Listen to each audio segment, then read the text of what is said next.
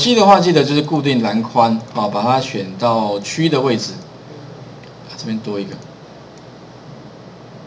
OK，下一步，然后这个不会入此栏，那呃贴的贴到这里哈，这边把它选取，在 F 改成区，按完成。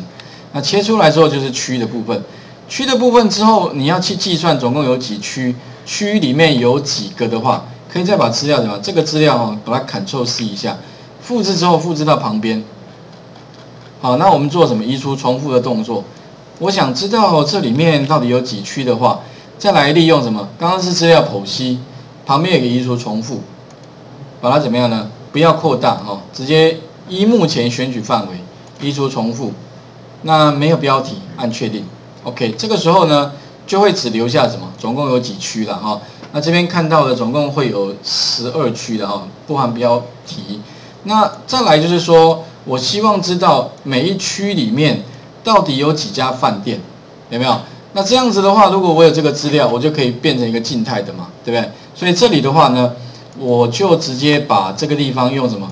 上个礼拜有讲过，用一个 conif，对不对？按确定，然后我的范围要判断范围就是这个旁边的这个范围，好。先选给他，那把它锁定一下。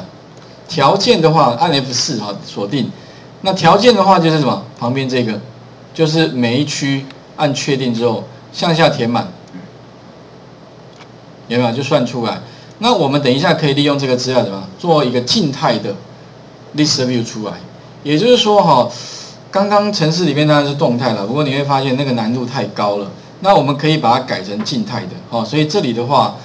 呃，请各位试试看啊，这个应该上礼拜有稍微讲到哦，只是这个 Excel 部分呢，呃，有些同学不是很熟悉啊，所以这里请各位先试试看，把我再把重点提示一下，第一个先把这个 Display Address 这边复制贴过来啊，然后再做资料剖析，再移除重复，再用 Conif 去产生我们要的这个总共每一区哈有几几笔资料啊，那画面还给各位一下。